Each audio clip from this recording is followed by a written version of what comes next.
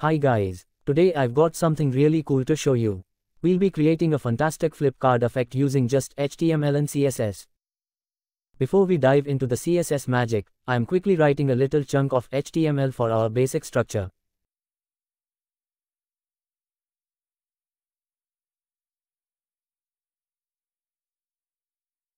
I have got a simple HTML file with a container div and a card div inside it.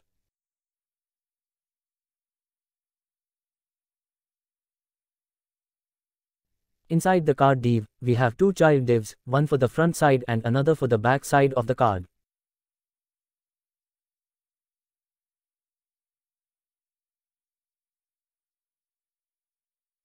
Now, let's move on to the CSS styles. I've got some exciting stuff here.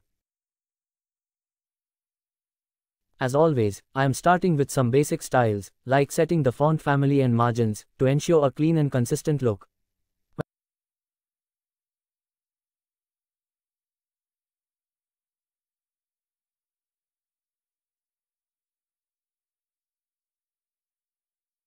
When you apply a 3D transformation to an element, it creates the illusion of depth, making the element appear as if it's coming closer or moving away from the viewer.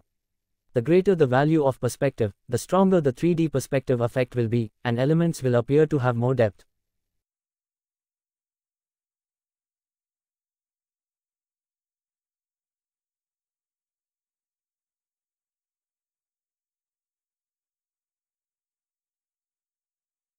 The real magic happens with these lines of CSS. We are using the transform property, which is a powerful tool to create animations and transitions. By setting the transform style to preserve 3D, we enable 3D transformations, which will be key for our flip effect. To style the front and back sides of the card, we use the front and back classes.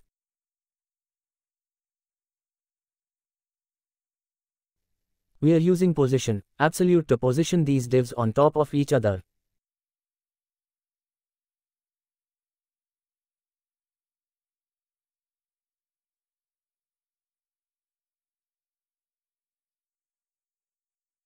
The backface visibility, hidden ensures that the back side of the card is invisible until we start flipping.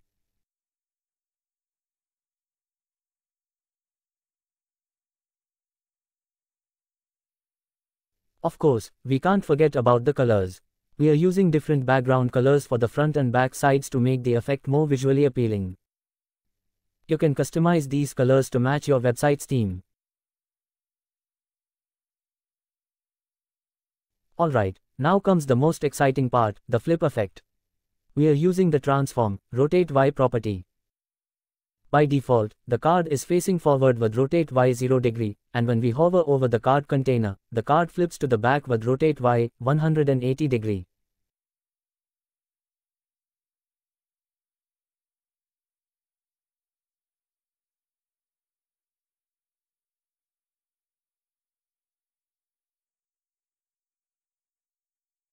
Finally I am letting it know what it's supposed to do when we hover.